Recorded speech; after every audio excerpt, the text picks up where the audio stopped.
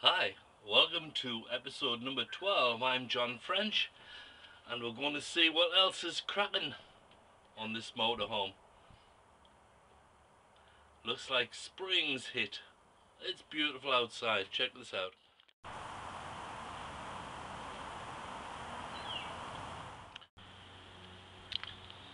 Fine sunny March day.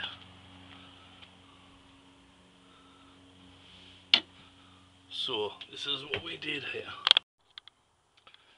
And this is the three-phase disconnect we installed, painted it white of course so everything matched.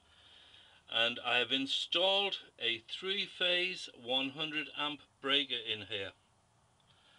The power will come in through this hole here from the alternator, three phases, going up and feed the top of the disconnect.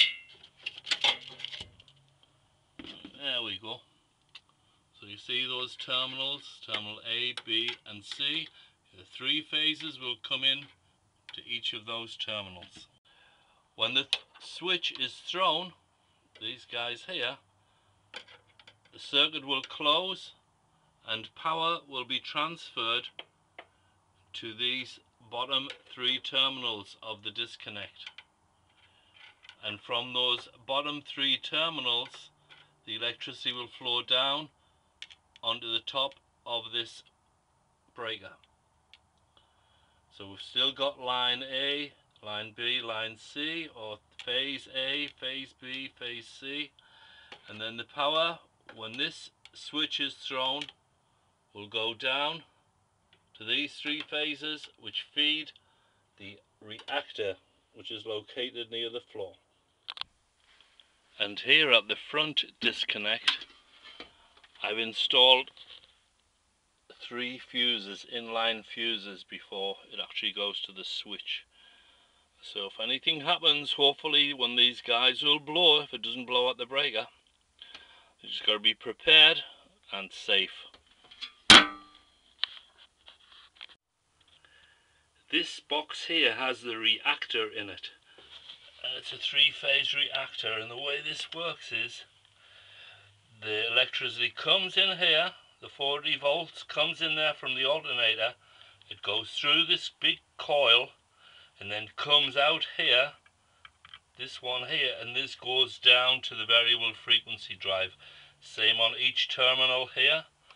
The power comes in from the alternator there goes out to the variable frequency drive after continuing through these coils.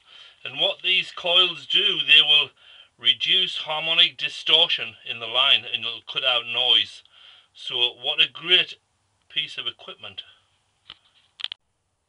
Once the reactor is all wired up and grounded we put an inspection cover here so you can so we can see what's going on there and I can fire my heat sensor through there make sure the temperatures are all right when the unit is running. Yeah look at that. Made a plastic um, inspection cover for it. It's a good idea to put a label on here to let people know about what we're looking at. And I also put warning labels on too. Danger high voltage. And then this red sign says three phase 480 volt reactor. Alright. Even the cupboard where the variable frequency drive is and everything now has a high voltage label on it just uh, to warn people and it says three phase 480 volt alternator then Of course we don't want the 460 of volts from the alternator going into the chassis otherwise we could get severely shocked. So what these guys are, ground fault detecting lights. I'm putting these and making a circuit with these here. Just put them in a box here. Same with that one. That This one's going to go on the dashboard and there will also be a a button to push there, a momentary switch there, and there will be a momentary switch there. and I will explain how this happens and how this is going to be good. Here is a simple circuit showing the ground fault light box with blue dotted lines on it and this is the alternator and the way these guys are connected together is the alternator has three phases coming out of it which also just means three lines of electricity.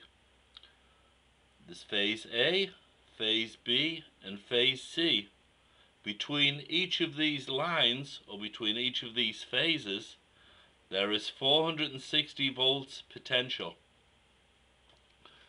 The way this box interacts with these lines of electricity is you take line line number A phase A connected through a 1 amp fuse to one side of the LED lamp same with phase B goes through a 1 amp fuse and connects to one side of the LED same with phase C on the other side of the LED lamps,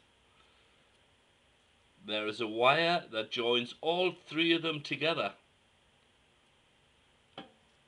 And from that junction there, we also have a wire going to a normally closed momentary switch. All that means is that's a switch with a spring on it, so it's not the power can normally go through it.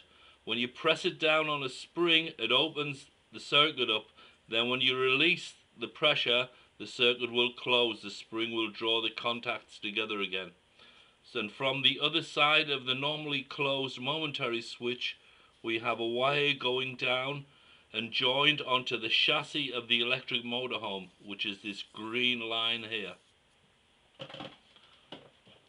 These lights will all burn with equal intensity when the alternator is turning the electricity would come down line B for example go through the light bulb and then return back through phase C and phase A same as on phase A you come along this light bulb burns the electricity comes back through phase B and also phase A the electricity will not go down onto the chassis of the motorhome because there's no potential and there's no way for the electricity to get back to the alternator, which is what it is trying to ultimately do. So when this system is working normally, these lights will burn with the same intensity. If, however, there is a fault, for example, on phase C, the electricity would come along, go down onto the motorhome chassis, go along the chassis and then up through this wire through the switch and then it would go back through phase B and phase A which will cause these guys to burn brighter there is no electricity flowing through here when there is a ground fault happening because there is no potential difference between these two points. That's why this does not go on. Therefore when this box is in situation on the van on the electric motorhome and you're driving along and this light goes out you know there's a fault on phase C or if this light goes out this would tell you that phase A is somehow grounding to the chassis and it would need to be addressed because that would be lethal potentially or you could get definitely electrocuted or burned the reason why we have this normally closed momentary switch in the circuit is is just a test to make sure that these lights all work and are not burned out. For example, if there was a slight ground fault there, if you press that momentary switch and disconnected that circuit, these guys would burn with equal intensity. But if that's a short there and you let that go, this light will go out and these guys will burn brighter. and these are all out of phase with each other. This is a representation of the electricity that comes from the alternator. The electricity starts at zero, it rises to about 500 volts, then comes back to zero and goes negative 500 volts and comes back to zero. But as you can see, even though it goes up to 500 volts, the usable electricity is about 460 volts. And your voltmeter is designed to measure that particular distance, not this distance. This is a timeline. The wavelength of a sine wave is the distance from the peak of one wave to the peak of the same wave further down in time. It goes up, goes down, then comes back up. So from there to there is actually the wavelength. Frequency, which you may see written on the side of a motor or on the side of a, an alternator, is how many times this goes up and down per second. Now, as you can see, phase A, phase B and phase C coming out of the alternator. By the time phase A gets up to 460 volts, not up to 500, by the time it gets up to 460 volts, phase B is at zero so you get a potential of 460 volts. Also, when phase B gets up to about 460 volts, phase C is at zero. So you get a potential of 460 volts and that just keeps happening.